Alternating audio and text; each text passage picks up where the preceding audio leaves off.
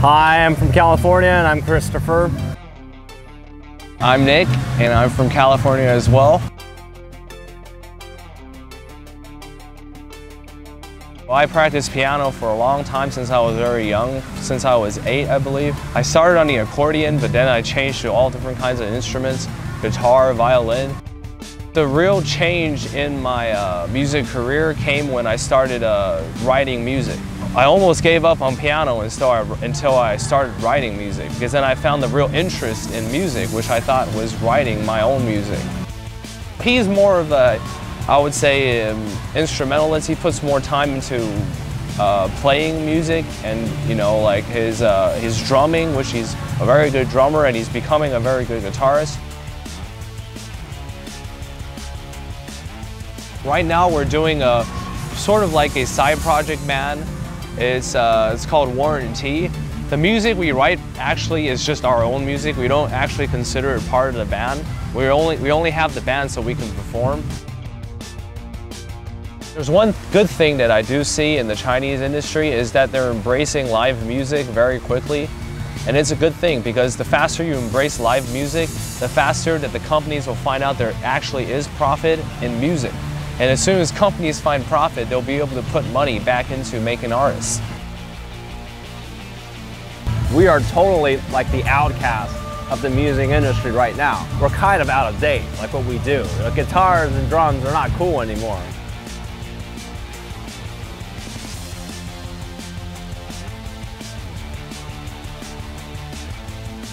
You know, right now you can have a one-man band. You know, you can take all of our roles one-man band, everything goes digital, and people like it. So what makes us different is because we're out of date. That's what I would say.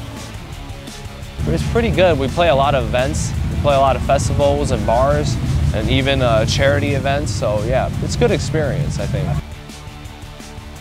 The thing about the Chinese music industry is that there's in the, the entertainment industry, there's almost no boundaries. It's not like America, you know, it's very strict as to how each each uh, industry is. In China, it's like it's like one big thing. You know, everyone knows everyone. You know, like no one who really does music is specifically doing music.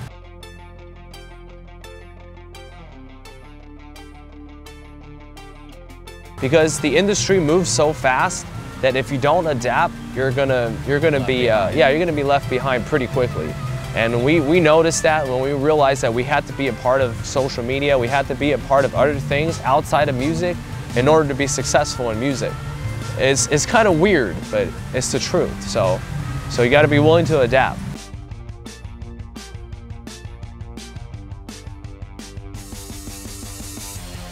In China, I think there's more we can do, and that's why we're all here, because I think this is a place that not many um, successful bands or musicians or anything that has ever happened. Like this is an, this is an area, I would say a land of opportunity. Not, not only for foreigners, for everybody.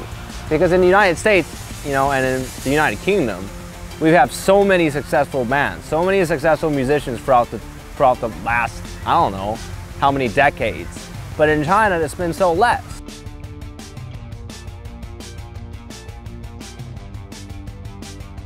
A good thing in China is that the circle is coming back to rock music. So that's a great thing for us and hopefully we'll, part, we'll be part of that when it, uh, yeah, that part of the movement when it comes around. We're finally figuring out things right now. We finally found a purpose that we want to, uh, we really want to focus on rock music and we want to focus on how to help rock music in general.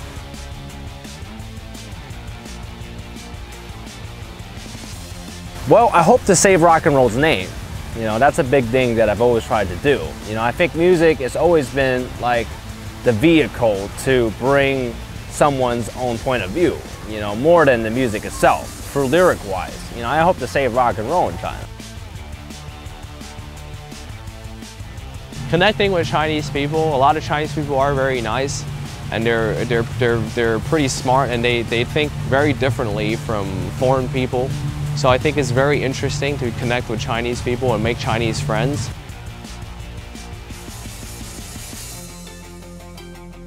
And uh, a lot of business opportunities in China. And uh, I think China, China, in terms of technology and economically more advanced than a lot of other countries give it credit for. Like it's, um, it's more modern than a lot of people actually think it is. They, they think, they still think of China as it was like 20 years ago, but that's not actually true. So I would say that um, be prepared to be, you know, mind blown, I suppose, yeah. My career plans are to, in short, to save rock and roll and to be a good role model to the kids out there. So there you go.